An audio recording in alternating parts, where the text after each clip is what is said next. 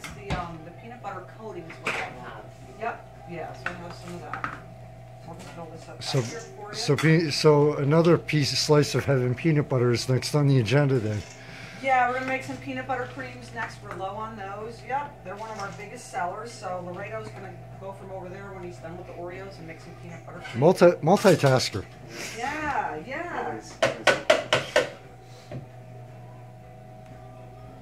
Yeah, I mean, I, s- you know, that's one of the few things from this area. Eventually, I plan on moving just because I can't take the cold anymore. But um, one of the few things I will never forget about this area was when I stopped in here at Music Fest, like I said before, and having that chocolate covered bacon and stopping in here was actually what gave me the idea for the, doing that that um, must stop list. That's cool. I have no idea how I made the connection, you know, but it was like, and then you know, I, friends ever since. yeah, and then I started noticing a couple of the other business. It's like, you know what? Let's do this, and you know, and people. I talked to people, and they they were actually, you know what? That's a great idea to do something like that.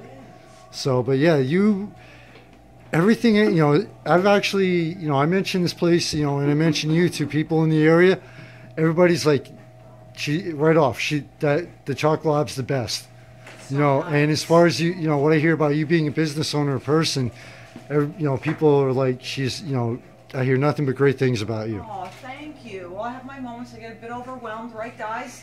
You haven't talked to the right people. bit overwhelmed. yeah, they were asking for Heather and Laredo. They can tell me. I'm like, just ignore me. I get really overwhelmed when we get busy. I'm like, oh my god. let me put it this way if i had a steel-tipped dartboard like i used to um, Oh, the, the wall behind the dartboard had almost as many holes in it as the dartboard did so it's oh, i understand. You know especially if you're uh, you know own a own your own business you get you know it, not everything it's a lot harder than what people think. It takes a lot more you know between dealing with people dealing with you know with vendors but you know, it's chocolate, so everybody's usually very nice, which is a great Right. thing. Every once in a while, we'll get a cranky person in there, in here, but it's some, usually because they've had a bad day before they even walk into the store. yeah You but then what I they, mean? they hear the music they get the chocolate bam Yeah. it's, Hi, how are And then everybody's better. Yep. So, Yeah. Laredo really enjoys making chocolate, and he's going to show you. hey start of the start of a Oreos. career you know you never know you can, Uh-huh. you could end up really loving this and learn a lot and open your Yeah. own business He loves food. He's interested in all sorts of things. He has two jobs. He loves food. Yeah, and he really is doing a great job.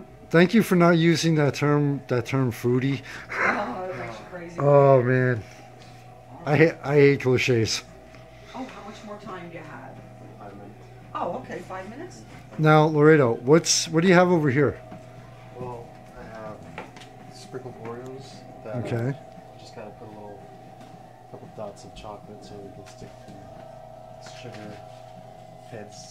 which is Okay. pretty neat. I like doing it. I mean, kind of messed up the first time, but I'm learning, so get everything together. Hey, every, everyone makes, you know, even, and I'm sure you can agree with me. Even you've been in business for 13 years now. Yeah.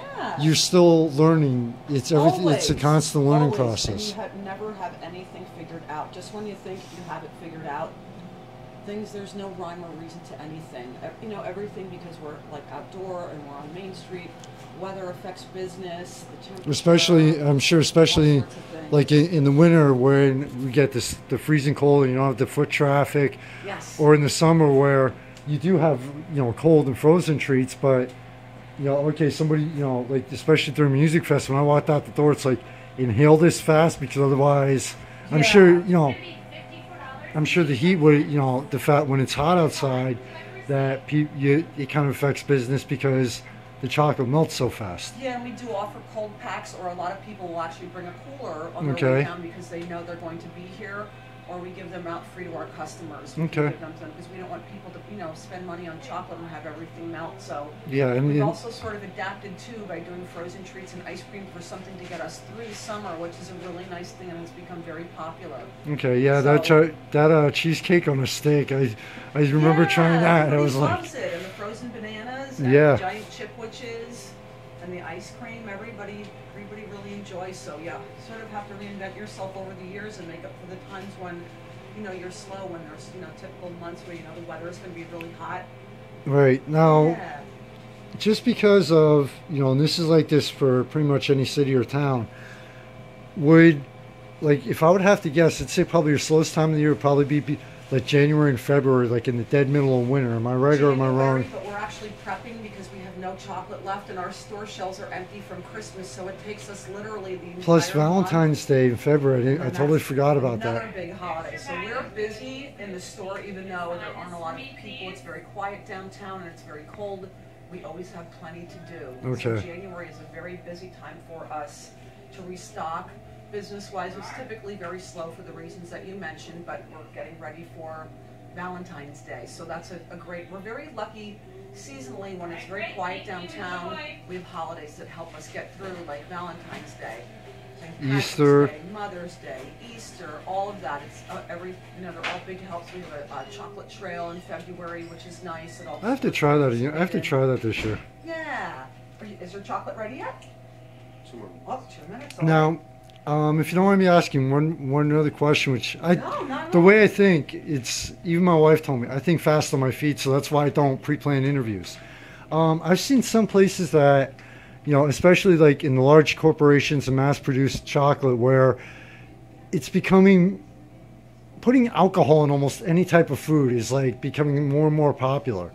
Um, do you do that with you, or like even if somebody would special order, let's just say like a chocolate cherry liqueur, do you? Sure. Okay. We do. Um, it's a commonwealth, and our state is very strange. You're only allowed a certain percentage of alcohol in chocolate, hmm so I make it to order. Okay. Put alcohol in anything, but yeah, you're absolutely right. People love liqueur-filled chocolates. It's not something that we readily have, but you can call and order it. I'd make um, chocolate-covered cherries soaked in cherry Kirsch, um, Jack Daniels, bourbon, whatever anybody would like. Yeah, Catch a eat, eat the chocolate, catch a buzz, save money. there you go. That's right. Yeah. So And Laredo did all of those Oreos yesterday, which Heather's now going to take in the back there wow. to stock up on those. Yep, they're one of our biggest sellers. All the simple things are the things that people really love. Yeah. Yeah. Yeah, I can believe it. You have a huge variety. I mean, you, We again, going back to the first time or during music festival, I've been in here a few times before, and I met, you know, we've talked a little, you know, said hello.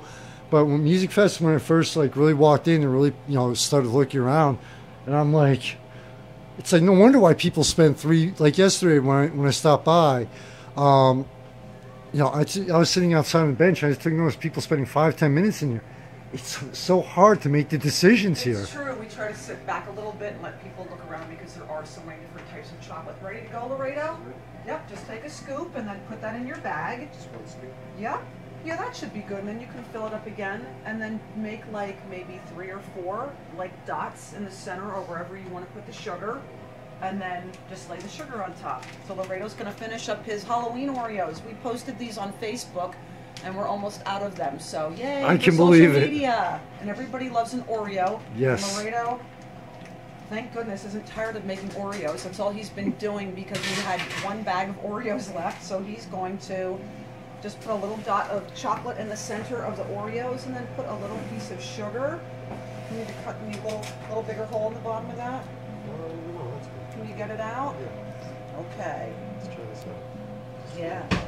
Now, Yeah. I don't want to inter- interrupt what he's doing, but something like this, it actually, as far as like how big to make the hole in the back, that does require a lot of, you have to know precision, correct? Because, Yeah, because we're just putting really tiny little things actually on top of these, and if you have a uh, like a parchment bag, this is what we use when we type out our chocolate. okay, Um, if too much comes out, then it's going to make a big mess, and then it's going to get all over your fingers, and then it's going to get all over the pieces of sugar that you want to put down.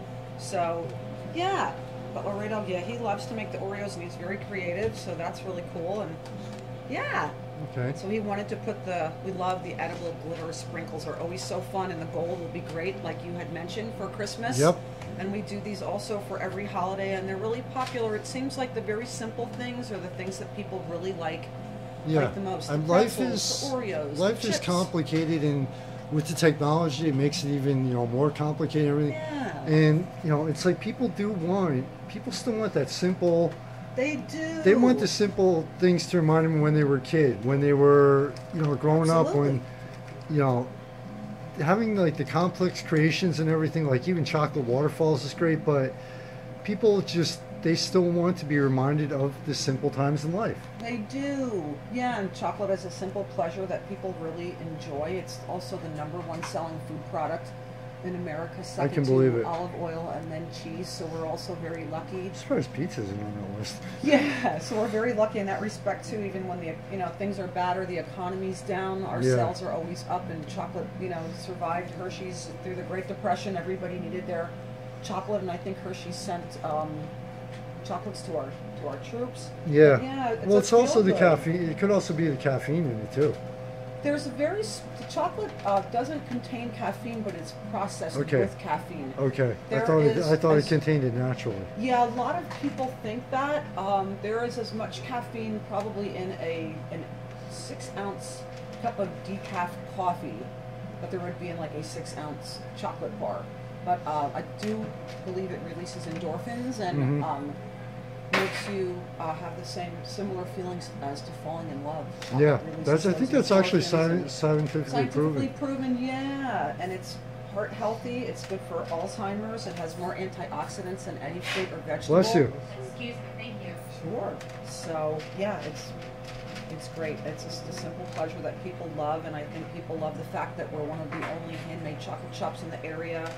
Most of our local chocolate shops mass produce everything. Um, I've watched, which is um, pretty fascinating to watch. Josh Early was on the local news last year. Yeah. They're big in Rovers making their big Easter eggs and all of their candies and the you know the equipment is you know it's millions of dollars and just to see it is Yeah, but fascinating. But this is a whole. That's great if you're different- supplying the retail chain, but it's Yeah. nice to to have something because you know, no matter even if it's the shape of it, something like right what you do, no two pieces are exactly the same. So it's something original and unique, you know, that people that people can get, not just something that was dropped. You know, a mold was filled up, popped into a huge oven. You know what I mean? Sure.